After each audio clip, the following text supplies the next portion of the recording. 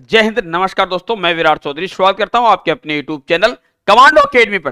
तो लाडलो आर्मी अग्निवीर के लिए बेड न्यूज़ आप सभी को बता दूँ, क्या बेड न्यूज़ है? इसकी पूरी डिटेल एक बार ये वीडियो अंत तक देखिए, साथ ही जिन बच्चों का एग्ज़ाम तेरह नवंबर को है, जिन अग्निवीर आर्मी का एग्ज़ाम तेरह नवंबर को और जिनका सोलह जनवरी को एग्ज़ाम है लाडलो, वो ध्यान रखिएगा, हर रोज तीन बजे, तीन पीएम पर मेरी लाइव क्लास रहती है स्पेशली आर्मी के लिए। इसमें मैं पूरा का पूरा आपको मॉडल पेपर और पूरा आर्मी मैटर देता हूँ, जो आने वाले एग्ज़ाम के लिए बहुत ही महत्वपूर्ण है।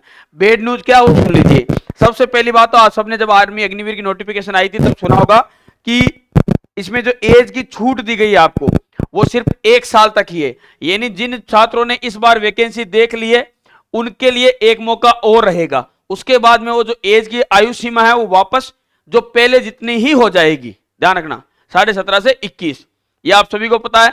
अब कुछ बच्चे जो इस बार नहीं देख पाए अपनी गलती के कारण या डॉक्यूमेंट मिस्टेक के कारण या जो भी कारण मान लो तो उनको भी क्या दो मौके मिलेंगे? नहीं, ऐसा कुछ नहीं है। आप देखो, ना देखो, ये आपकी प्रॉब्लम है। आर्मी की कोई प्रॉब्लम नहीं है, इसलिए उनको मौका नहीं मिलेगा।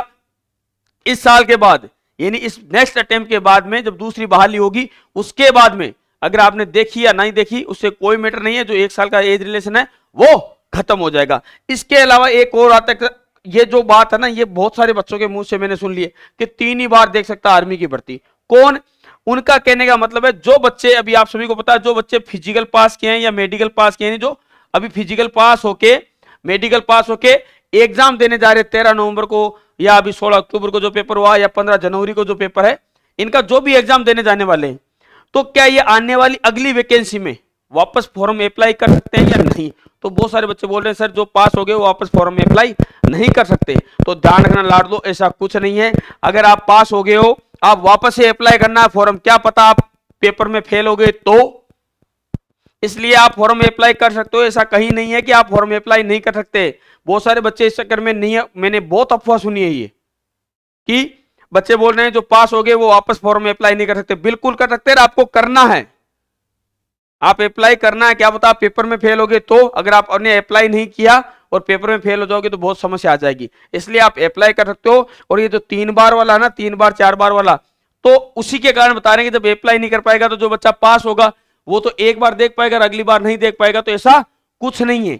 जो पेपर पास किया, लेकिन हाँ एक बात ध्यान रखना, जिस बच्चे को मेडिकल पॉइंट मिला है या उसको ऐसा है कि वो फिट हो गया इस बार उसको मेडिकल पॉइंट मिल सकता है या कोई प्रॉब्लम है जो उसको पता है उसको मेडिकल पॉइंट नहीं मिला तो उसको ऐसी रिस्क नहीं उठानी है, क्योंकि अगर मान के चलिए कि इस भर्ती में आपको मेडिकल पॉइंट मिल गया, अगली में उस मेडिकल पॉइंट को पहले से ध्यान रखेंगे वो।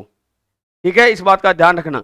तो आप मान लो पहली भर्ती में फिट हो रखे दूसरी में अगर मेडिकल अनफिट हुए तो वापस पहली वाली पे भी आपके गाज गिर जाएगी। इस बात का विशेष ध्यान रखें। बाकी इन अफवाहों पर ध्यान ना दिला दो। जो एज लेस है ना, वो खत्म हो जाएगा। जिन बच्चों ने अप्लाई नहीं किया यार, किया है तो आपके पास में लास्ट चारा रहेगा जिनकी एज ज़्यादा हो रखी है। ठीक है? जय हिंद, जय भारत। और लाडो देखना ना भूलिए, तीन पीएम हर रोज लाइव रहता हूँ मैं स्पेशली आर्मी के लिए।